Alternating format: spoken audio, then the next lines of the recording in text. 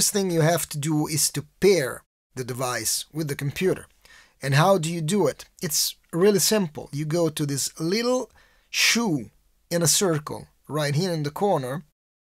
You click on it and it says not connected. Click and it opens the tab in the browser. It says connect. It will show you in a second. There it is.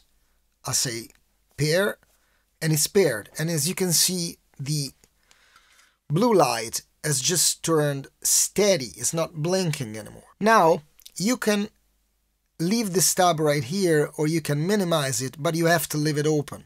If you close it, you don't have access from the foot controller anymore. But it's not annoying at all, you just leave it there as a tab in your browser.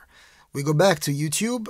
So what you do is uh, we're gonna just uh, power it up whilst holding this button here and it'll start flushing blue there. And that tells us it's uh, ready to go. And then we're oh, here on my Mac the app uh, is I've already installed it into the Chrome browser. I'm just going to go down here and see if it's connected. It says it's not connected. We click connect really easy. It wants to pair. We pair it.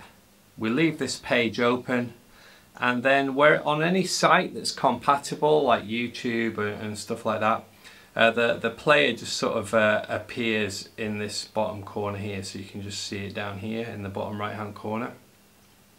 And right now if I uh, want to press play I just uh, do that and press the middle button. And then say if I want to fast forward to, uh, to a bit of the solo just fast forward it with this button. Uh, but I'm gonna, just going to rewind it now uh, a little bit and I'm gonna loop this crazy solo. Alright, that bit there. And I press the looper again and now it's just looping down.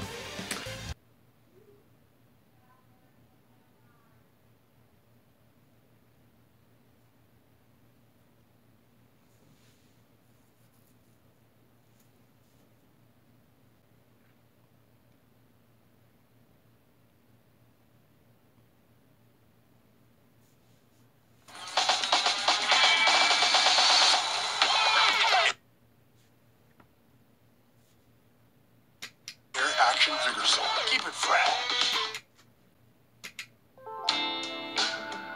And again, the way it works is you download the AirStep Play app, which I have loaded up here, and it just looks like a YouTube app to start with. So if I just come out of here, we've got the AirStep Play app here. Download it for free from the App Store. Again, whether that's Google or whether that's you know, the Android Play Store or whether that's the iOS Store. Obviously, I'm on an iPad Pro here.